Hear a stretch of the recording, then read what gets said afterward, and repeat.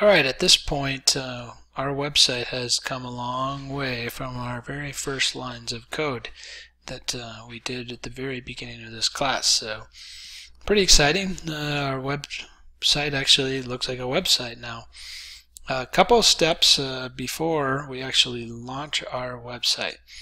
The first thing we're going to do is go through four site launch checklist, uh, a four-step site launch checklist we're going to, one, validate your pages, then check spelling, then check for broken links, and then run a site report just to see if it catches anything that we might have missed.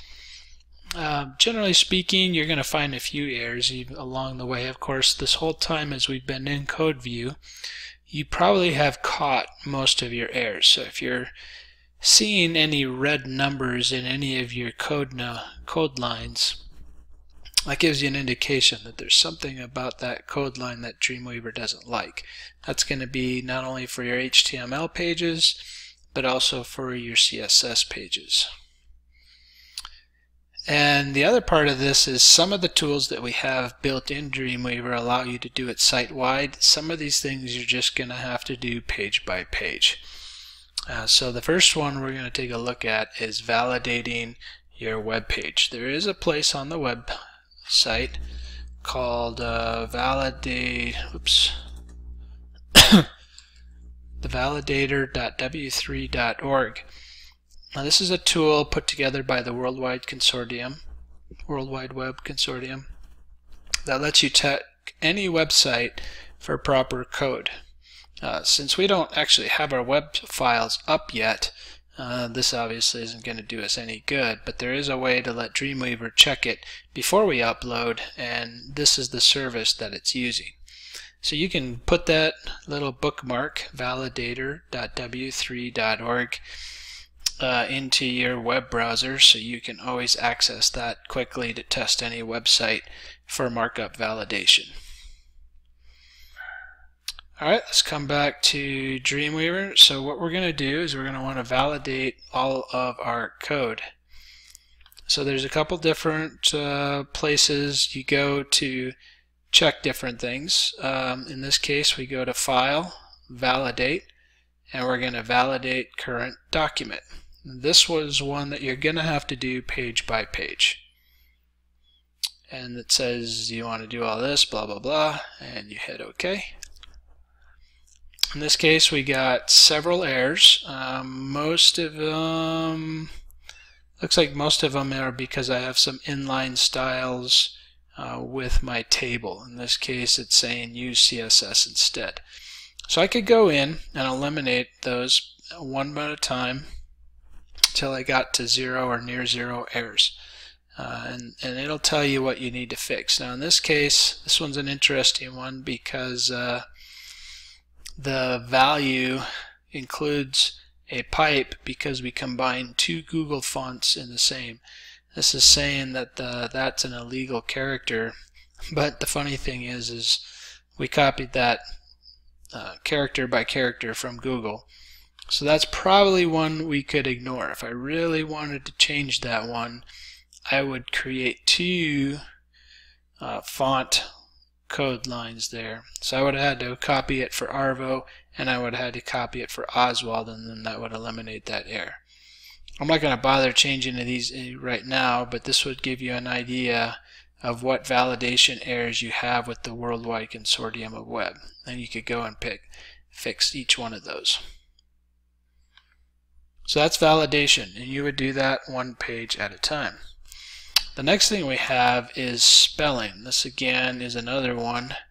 You could select text. Uh, this is another one you have to do one page at a time, and you can select text that you want to test or select nothing if you wanted it to have it check for everything. So in this case, we come up here to commands. And these all kind of seem to be in obscure areas. Like some of it, this the last one was in file. This one is in commands. And so we're going to just go ahead and run check spelling.